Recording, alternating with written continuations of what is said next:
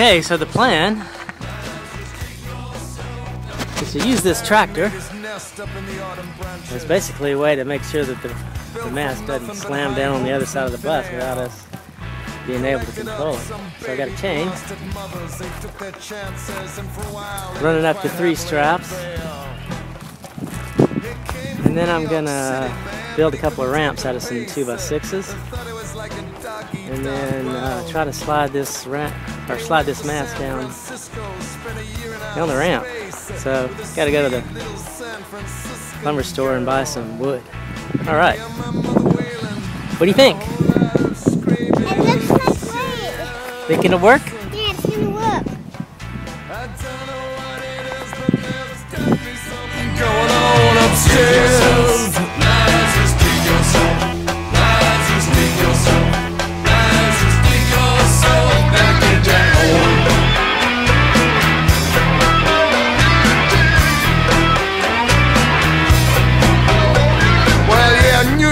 City, he had to get out of